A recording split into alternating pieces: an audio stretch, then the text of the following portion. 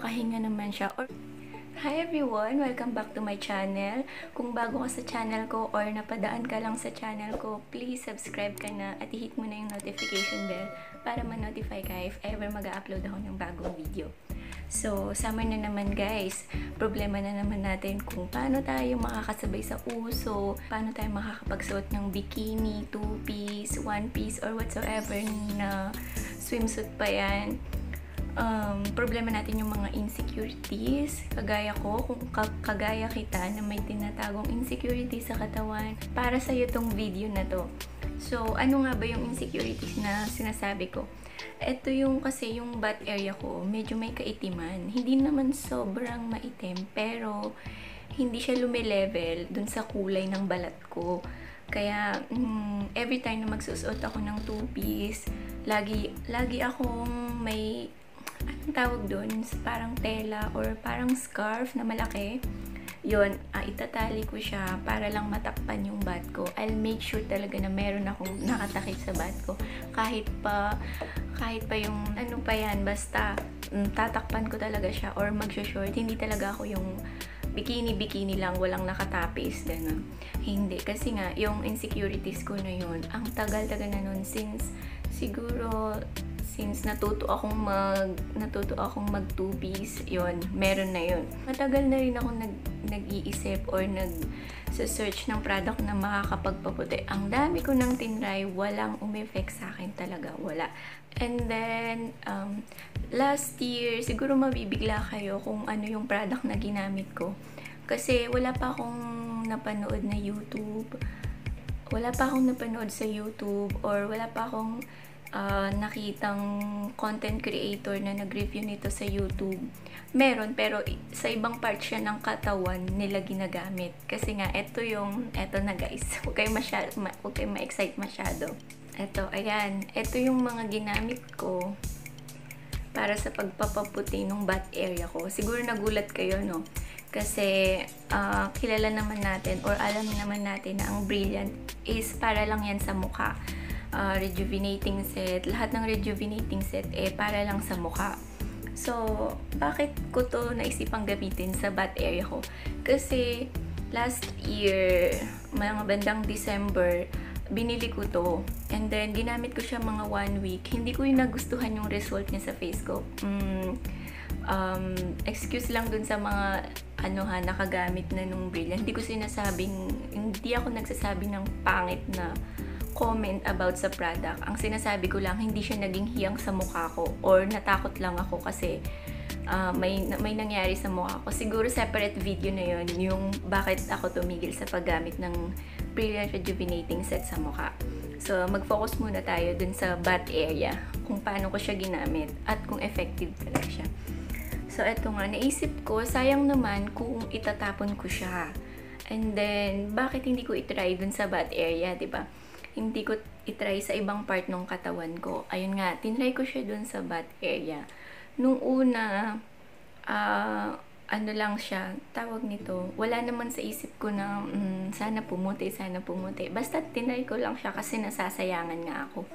Uh, kung na, tapos naisip ko, kung nare-rejuvenate yung balat sa mukha, bakit hindi yung sa butt area, ba diba?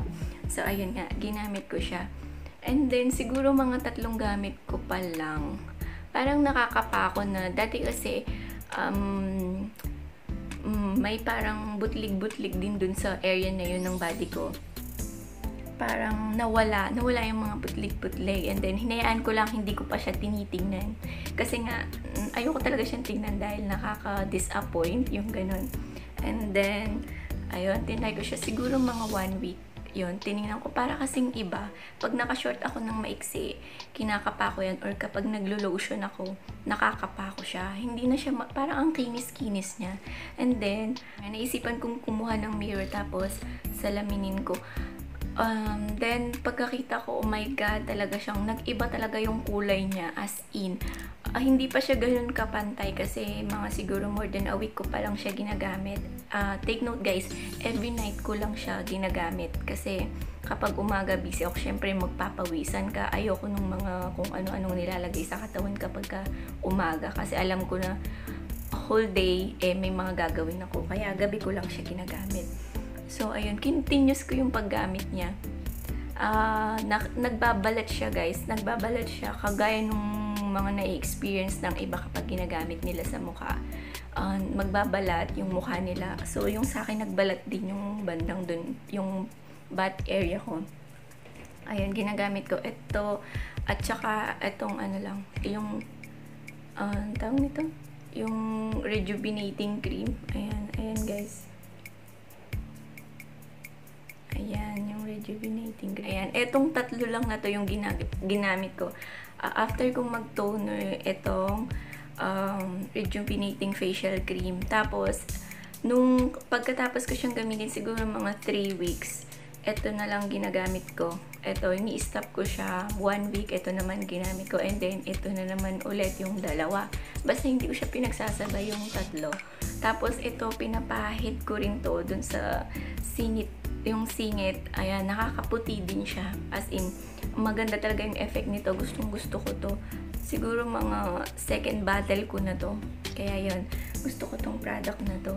Sorry guys, hindi ko maipakita sa inyo yung bat area ko kasi masyadong sensitive. Baka ano, uh, hindi approve ni YouTube yung video ko. But hindi ko maipakita sa inyo yung proof na effective talaga siya dun sa bat area ko. Pero, I leave it to you na lang guys na itry talaga siya.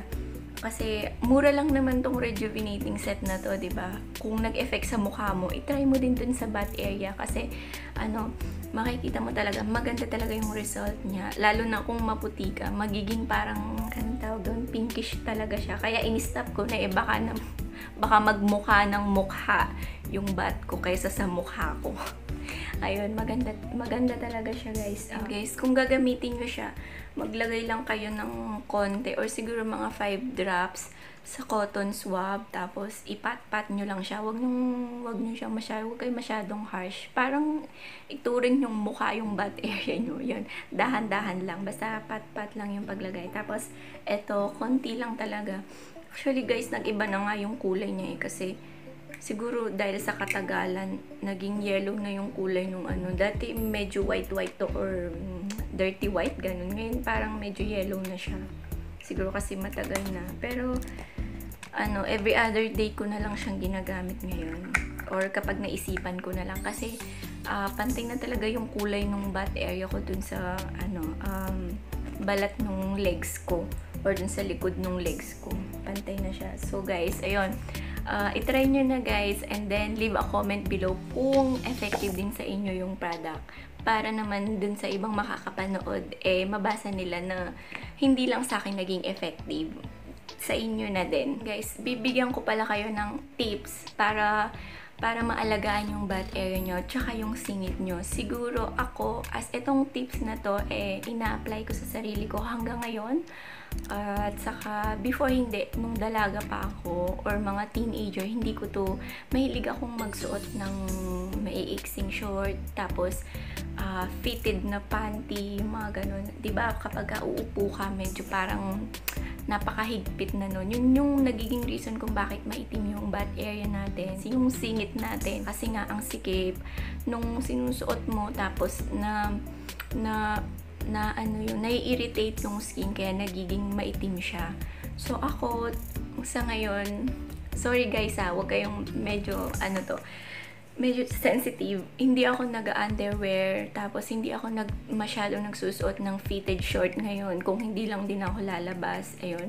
Uh, at saka, pag sa bahay lang ako, maluwang lang yung suot ko. Kung hindi man siya duster, yung mga dress na mahaba. Tapos walang walang underwear. Ganun lang. Kasi nasa bahay lang naman ako eh. Para makahinga naman siya. Para makahinga naman. Para makahinga naman siya. Or kung hindi nyo may iwasan, hindi mag-underwear. Kung hindi kayo sanay, go, siguro pag umaga. Pero kapag gabi, hayaan nyo na, magpajama na lang kayo kasi hindi naman kayo magiging active. So, wag don't worry kung ano kung may mga kasi 'di ba tayong mga babae the more the active the more yung yung discharge natin. So kapag gabi okay lang siguro na hindi kayo mag-underwear kasi hindi naman kayo active sa gabi 'di ba? Matutulog lang naman kayo. So kapag umaga doon na lang kayo mag-underwear. Makikita nyo talaga guys yung difference nung before and after nyo gawin yung habit na ganun. So, ayun lang guys for today's vlog. Salamat sa panonood. Hanggang sa susunod na video, kita-kits ulit tayo. Kung nagustuhan mo tong video na to, subscribe na and hit the notification bell. Bye!